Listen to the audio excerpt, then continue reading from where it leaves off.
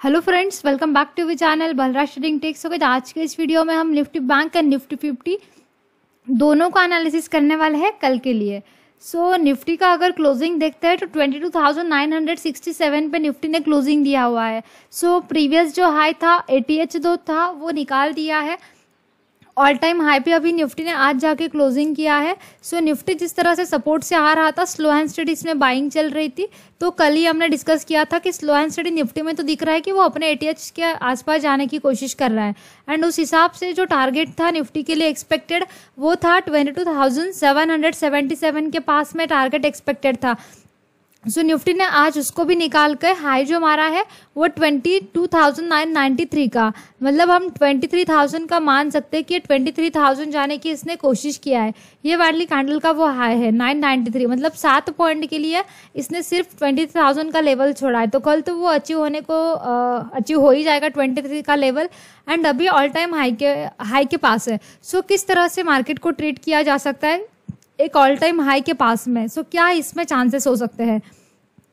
सो so, जब आप previous जगह के पास देखोगे ठीक है प्रीवियस जगह के पास आप जब, जब देखोगे तो मार्केट ऑल टाइम हाई के पास जब गया था तो मार्केट ऐसा बड़ा कैंडल नहीं बनाया था जैसे आज बनाया। यहाँ पे जाने के बाद ये छोटी छोटी कैंडल्स बना रहा था फिर गैप अप खुल गया था एंड उसके बाद में वो नीचे आ गया था। आज का जो कैंडल है टू मच स्ट्रॉन्ग कैंडल इसने बनाया है ब्रेकआउट पे। सो ये इसका कैंडल देख के लग रहा है कि ये थोड़ा सा और ऊपर की साइड में मोमेंटम कर सकता है चांसेस है। तो क्या कल डायरेक्टली इसका भी ऊपर की साइड के लिए हो जाएगा? नहीं। इतना अच्छा कैंडल के बाद जनरली मार्केट इतना अच्छा मूवमेंट करने के बाद में डायरेक्टली ऊपर की साइड में नहीं ट्रेंडिंग रहता है। उसके बाद मार्केट या तो साइडवेज जाता है या थोड़ा सा डीप मार के फिर ऊपर की साइड में जाता है। अभी जो एटीएच है, यहाँ पे अगर मैं एक हॉरिजेंटल लाइन ड्रॉ करूँ तो ये वाला लेवल है। ये वाला लेवल इसने निकाल दिया है, अपना एटीएच निकाला है। तो मार्केट जिस लेवल का ब्रेकआउट करता है मार्केट जिस लेवल का ब्रेकआउट करता है तो उसको रिटेस्ट करना इंपॉर्टेंट रहता है। अभी ये ब्रेकआउट जो है, ये डायरेक्टली हुआ है। ये अभी ऐसा नहीं जा सकता। इसको या तो डीप मार के जाना चाहिए ऊपर, या फिर कंसोलिडेट करके ऊपर जाना चाहिए। क्यों? कंसोलिडेशन करके जाना चाहिए डीप मार के क्यों जाना चाहिए? इतना इंपॉर्टेंट क्यों हो रहा है? डायरेक्टली ऐसा क्यों नहीं जा सकता? इसलिए नहीं जा सकता, क्योंकि यह सपोर्ट के पास से आ रहा है। सपोर्ट के पास से यह वन वे आ रहा है, ऐसा हम बोल सकते हैं। डायरेक्टली ब्रेकआउट होता है। तो या तो ऐसा ब्रेकआउट फेल जाने के चांसेस होते हैं, या फिर ऐसा ब्रेकआउट जब होता है, उसके बाद मार्केट डीप मार के फिर से ऊपर की साइड में जाता है, या यहाँ पे एक दो दिन कंसोलिडेट करके जा सकता है। हो सकता है कल का एक हाथ डोजी कैंडल ऐसा रेड कैंडल वगैरह, ऐसा डोजी कैंडल बने, या दो दिन ऐसा एक डोजी कैंडल बने एंड उसके बाद में मार्केट मोमेंटम करे। वैसे भी आज मार्केट ने मोमेंटम काफ़ी अच्छा कर दिया है तो कल वही एक्सपेक्ट मत करना। नहीं तो क्या गलती होता है? आज अच्छा सा एक्सपेक्ट आज अच्छा सा मोमेंट किया तो आज मोमेंटम नहीं कैप्चर कर कर पाते हैं एंड कल उसके लिए सोचते हैं। मतलब आज भी नहीं कमाया एंड कल भी गवाया। ऐसा हो हो जाता है। सो so, अभी ब्रेकआउट किया है तो वेट करना पड़ेगा। हमें हमें एक आध दिन का दो दिन का फ्राइडे टू मंडे वेट करना पड़ेगा। क्योंकि इतना अच्छा रैली करने के बाद मार्केट को जो है थोड़ा सा डीप मारने की बहुत ज़्यादा ज़रूरत है। डीप मारे मार्केट उसके बाद हमें मार्केट ऊपर की साइड में जाए या फिर ऑल टाइम हाई के पास कंसोलिडेट करके कंटिन्यू ऊपर जाने के लिए। अभी ये वाला जो लेवल था, इसको निकाला था, इसको रिटेस्ट किया है एंड इसके बाद फिर से आज यहाँ से कंटिन्यू किया था ना। आज नौ बजकर पंद्रह मिनट का कैंडल कौन सा ये वाला है ना? ट्वेंटी थ्री मई का नौ बजकर पंद्रह मिनट का कैंडल ये वाला है। ओके ये वाला रेड है। ठीक है? सो so, यहाँ से मार्केट ने क्या किया? फिर से अपना ट्रेंड वन वे कंप्लीट किया है। तो अभी कल तो ऐसा नहीं रहेगा ना कि मार्केट यहाँ से ऐसा सीधा आ भी गया है तो कल भी ऐसा जाए। नहीं ऐसा नहीं जा सकता मार्केट मार्केट को रिटेस्ट करने के लिए आना चाहिए। ट्वेंटी का लेवल जिस लेवल का हम टारगेट रख रहे थे ना वही लेवल निफ्टी के लिए एक्सपेक्टेड रहेगा किसके लिए? रिटेस्ट करने के लिए। सो so, कल निफ्टी को नीचे आने देंगे। निफ्टी जब यहाँ आके सपोर्ट बनाएगा तो फिर से इसको ऊपर की साइड के लिए सोच सकते हैं। एंड ऊपर की साइड के लिए टारगेट अभी डायरेक्टली नहीं रखे जाएँगे। आ, हो सकता है कि कल एक अच्छा सा गैप ऑफ़ ओपन मिल जाए।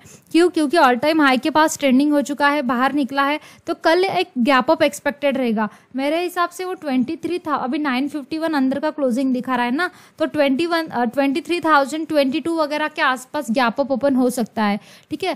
थोड़ा सा साठ एक point Nifty gap up opening की कोशिश कर सकता है, पचास से साठ पॉइंट सो इतना गैप अप निफ्टी जब ओपन होगा एंड जब डिप मारेगा तो उसमें थोड़ा सा हम लोग को इंतज़ार करना पड़ेगा। डाउन साइड के लिए भी मार्केट को अगर आना है, मान लो ओपन होता है ट्वेंटी ट्वेंटी के आसपास यहाँ पे। एंड पहला कैंडल मानो रेड बनता है। उसके बाद का कैंडल होल्डिंग वाला बनता है बियरिश पॉज कैंडल तो ठीक है तो उसके साथ डाउन साइड का व्यू बनेगा, पहले सपोर्ट के पास तक।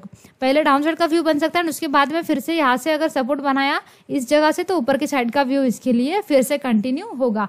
लेकिन अभी ऑल टाइम हाई के पास है तो गैप अप ओपन होने के चांसेस बहुत ज़्यादा है निफ्टी में, जिस तरह से कैंडल आज क्लोज किया है। एंड निफ्टी का अगर आज प्राइस एक्शन की बात करें कि इसमें कहाँ पे सेटअप बना था निफ्टी का निफ्टी का तो देखो, जब मॉर्निंग में निफ्टी ओपन हुआ, ठीक है, निफ्टी कहाँ पे ओपन हुआ है? नौ बजकर पंद्रह मिनट का कैंडल ये वाला है, ठीक है? ये वाला पहला कैंडल है। निफ्टी का जो कैंडल है, नौ बजकर पंद्रह मिनट वाला कैंडल ये वाला कैंडल है रेड कैंडल यहाँ से आज मार्केट ओपन हुआ है। उसके बाद मार्केट ऊपर जाता है, एक डीप मारता है, फिर ऊपर जाता है। ज़्यादा ऊपर नहीं जाता है, फिर डीप मारता है। फिर धीरे धीरे धीरे धीरे करके ये slow and steady bullish trend में ही लग गया। एक भी कैंडल्स अपना प्रीवियस जो सपोर्ट रहता है ना, उसको नहीं ब्रेक कर रहा था। सो जब तक मार्केट अपना प्रीवियस सपोर्ट नहीं ब्रेक करता, तब तक मार्केट क्या रहता है? ऊपर की साइड की ट्रेंड में रहता है। अभी ये सारा सपोर्ट लेवल इसके लिए हो जाएगा। फिर से यहाँ पे जब हैमर बना तो उसके साथ में वो फिर से ऊपर की साइड में गया, ठीक है? यहाँ पे ऐसा चार्ट करोगे तो आपको दिखने को, देखने को मिलेगा। आता है, फिर एक ग्रीन कैंडल बनाता है, फिर धीरे धीरे करके ऊपर जाता है, फिर यहाँ पे एक हैमर फॉर्म किया, फिर यहाँ पे एक हैमर फॉर्म किया। मार्केट जो भी हैमर लगाता है ना बुलिस ट्रेंड में उसके नीचे नहीं आता है। कंटिन्यू स्लो एंड स्टडी भी रहता है ना तो उसके नीचे नहीं आता है। स्लो एंड स्टडी कर करके कर करके ऊपर की साइड में वो क्या करता है? मूवमेंट करता है। अभी इतना अच्छा सा रैली करने के बाद में क्या हम डायरेक्टली एक्सपेक्ट कर सकते हैं ऊपर की साइड के लिए? बिल्कुल भी नहीं। कल इसका गैप अप का पॉसिबिलिटी है। गैप अप ओपन होने के बाद थोड़ा वेट करना पड़ेगा।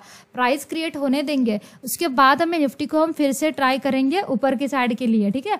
एंड बैंक निफ्टी जो है, इसका टारगेट पेंडिंग है। बैंक निफ्टी का ऊपर की साइड के लिए जगह पेंडिंग है। बैंक निफ्टी का भी गैप अप ओपन होने का पॉसिबिलिटी है। एंड बैंक निफ्टी का जो टारगेट है, वो भी एटीएच का टारगेट है। एटीएच रखने से पहले मैं ये टारगेट रखना चाहूँगी। Forty nine thousand forty nine thousand two fifty five का टारगेट है। बैंक निफ्टी का पेंडिंग है, क्योंकि यहाँ पे ट्रेंड लाइन के पास में ये रुक रहा था। रुक रुक कर आज फिर से ऊपर की साइड में निकला है। मतलब इसने वही किया कि सपोर्ट का रिस्पेक्ट करके ये क्या कर रहा है? फिर से इसी जगह के पास जा रहा है। बैंक निफ्टी का जो टारगेट है गाइस वो है forty nine thousand two fifty five का टारगेट बैंक निफ्टी के लिए है। बैंक निफ्टी ने भी आज जिस तरह से क्लोजिंग दिया है, उसको देख के भी वही लग रहा है कि इसका भी जो ओपनिंग रहेगा, वो गैप ऑफ़ ओपनिंग होने का पॉसिबिलिटी है। And forty nine thousand two fifty five इसके लिए टारगेट है। ज़्यादा बड़ा गैप अप नहीं होना चाहिए। अभी मानते हैं तो forty seven thousand seven hundred है। तीन एक सौ पॉइंट भी ओपन होता है तो भी चलेगा। मतलब कहाँ पे ओपन होगा वो? फिर फोर्टी एट थाउज़ेंड के आसपास वो ओपन हो सकता है, ठीक है? फोर्टी एट थाउज़ेंड क्या? फोर्टी नाइन थाउज़ेंड के पास में सॉरी फोर्टी एट थाउज़ेंड नहीं फोर्टी नाइन थाउज़ेंड के पास में। फिर वहाँ से थोड़ा सा डिप करना चाहिए एंड उसके बाद फिर ट्रेंड को कंटिन्यू करके forty nine thousand two fifty five का जो टारगेट है, उसके पास जाए। लगभग अपना जो प्रीवियस हाई रहेगा, वो भी वो अचीव करने का कोशिश कर सकता है। अगर आप प्रीवियस चार्ट के ऊपर देखोगे तो आपको एक चीज़ समझ में आएगा। कि मार्केट यहाँ पे जब इस लेवल को तोड़ा था तो उसी का रिटेस्ट करके हम डायरेक्टली नीचे आ गए थे सपोर्ट के पास में। अभी हम सपोर्ट के पास से ऊपर जा रहे हैं, ठीक है? सपोर्ट के पास से हम ऊपर जा रहे हैं तो टारगेट कहाँ पे रहेगा हमारा? ऑब्वियसली यही पे रहेगा ना, जहाँ पे प्रीवियस जगह पे रेजिस्टेंस लिया है। तो अभी इसका ये निकला है तो इसका टारगेट भी यही तक है, ठीक है? अभी बहुत सारे लोग बोलेंगे कि आपको तो पता था कि घापअप है तो आपने क्यों नहीं बताया? देखो भाई कैंडल्स को देख के पता चलता है कि क्या ओपनिंग हो सकता है। अभी जैसे मुझे कैंडल को देख के लग रहा है कि इसका गैप ऑफ़ ओपनिंग का पॉसिबल है। लेकिन अपना मार्केट ज़्यादातर जो ओपन होगा, वो किसको फॉलो करके ओपन होगा? फॉरेन के जो मार्केट रहते हैं, ग्लोबल जो मार्केट रहते हैं, उनको देख के मार्केट ओपन होता है, ठीक है? हाँ वो भी सपोर्टिव हो गए, अपना प्राइस एक्शन भी बुलिश है तो वो हो जाता है, वो गैप अप ओपन होने की प्रोबेबिलिटी उसका हो जाता है, लेकिन निफ्टी का चांसेस ज़्यादा है, क्योंकि वो पैरल चैनल का ब्रेकआउट किया है तो वो कल गैप अप ओपन होने के चांसेस सिक्सटी फाइव से सेवेंटी परसेंट चांसेस है कि निफ्टी गैप अप ओपन हो। बैंक निफ्टी रेंज के अंदर है, लेकिन निफ्टी गैप अप ओपन हो तो बैंक निफ्टी भी उसको फॉलो करके वो भी गैप अप ओपन होने की कोशिश करेगा। गैप अप का स्ट्रेटेजी एक ही रहता है। मार्केट गैप अप होने के बाद पहला कैंडल रेड बनाया तो धीरे धीरे करके थोड़ा सा नीचे आता है। सपोर्ट बनाने के पास में। अभी निफ्टी को, निफ्टी बैंक को सपोर्ट बनाने के लिए आना होगा तो निफ्टी बैंक कहाँ तक आ सकता है?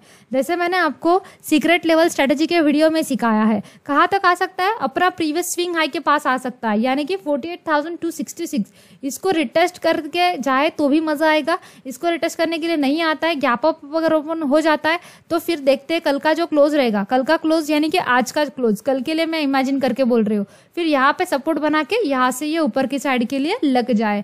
बाकी टारगेट जो रहेगा forty nine thousand two fifty five का टारगेट है। बस ज़्यादा बड़ा गैप अप ओपन होकर टू हंड्रेड का टारगेट नहीं अचीव कर देना चाहिए। फिर टारगेट नहीं बचेगा।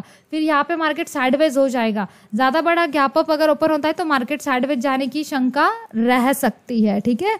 सो वीडियो अच्छा लगा है तो क्या करना है? लाइक ज़रूर करना है ना? सो लाइक कर देना है। चैनल पे नए हो तो सब्सक्राइब भी कर देना है।